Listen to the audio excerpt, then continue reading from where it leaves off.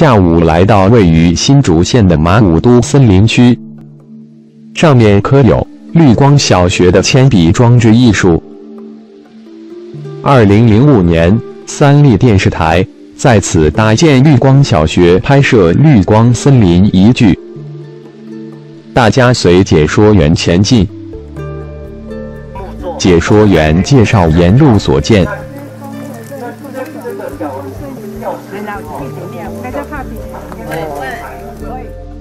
步道边有很多可供野外求生的植物，长在树上的山苏，可做蓑衣的棕榈科植物。来到彩虹桥，忽然下起大雨，打断了上山的行程。山区午后常有雷雨，为了安全，大家折返绿光小学，在屋内听讲解。雨天室内较暗，开了电灯，怀旧造型的电灯。解说员准备要开讲了，黑板上的涂鸦是先前游客留下来的。术业有专攻，大家聆听专业的讲解。那沙滩上面的假假说，说是右脚坏掉，很奇怪。那找到的，找到的那人家。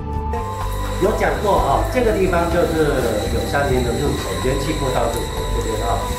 那这边就刚刚我讲的绿光绿光森林这部片子在边拍，然后在那入口的地方，呃，我们现在出像像那边的话，左手边有一支大大的铅笔啊，那有写绿光小学啊，绿光小学这四个字啊，大铅笔，那就入口是这样。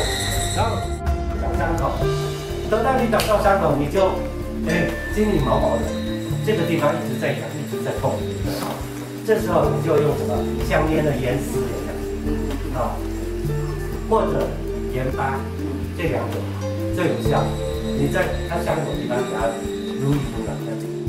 山区的雨来得急，去得也快。雨停时的户外，大家又一力而行。解说员带大家往山下走。对周围生态环境详加解说。